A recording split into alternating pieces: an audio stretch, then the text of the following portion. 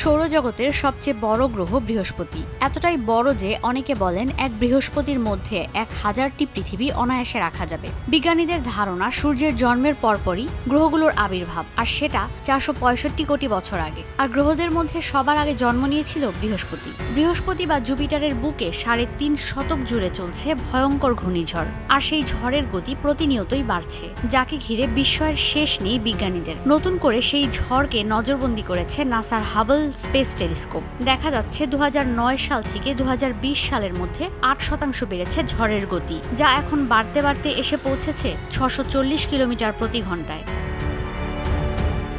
সৌরজগতের যে কোটি গ্রহকে ঘিরে বিজ্ঞানীদের কৌতূহল সবচেয়ে বেশি, তার মধ্যে অন্যতম বৃহস্পতি, আর বৃহস্পতির গ্রেট রেড স্পটের ওপর দিয়ে বয়ে চলেছে এই ঝড়। এই অতিকায় অপার্থিব ঝড়ের ঘূর্ণনের এলাকা পৃথিবীর চেয়েও অনেক বড়।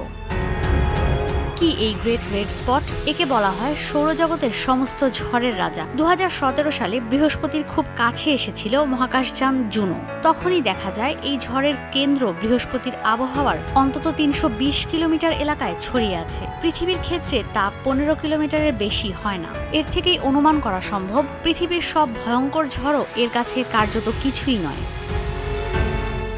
আঠারোশো ত্রিশ সালে আজ থেকে প্রায় দুই শতক আগে প্রথম এই ঝড়ের সন্ধান পান জ্যোতির্বিজ্ঞানীরা। প্রায় সাড়ে তিনশো বছর ধরে চলছে ওই ঘূর্ণিঝড়। এই ধরনের দীর্ঘমেয়াদী ও ভয়ঙ্কর ঝড় সৌরজগতের কোনো গ্রহেই দেখা যায়নি। সেই ঝড়েরই গতিবিধি ধরা পড়ল হাবলের তীক্ষ্ণ পর্যবেক্ষণে। বিষয়টি ঘিরে উত্তেজিত বিজ্ঞানীরা।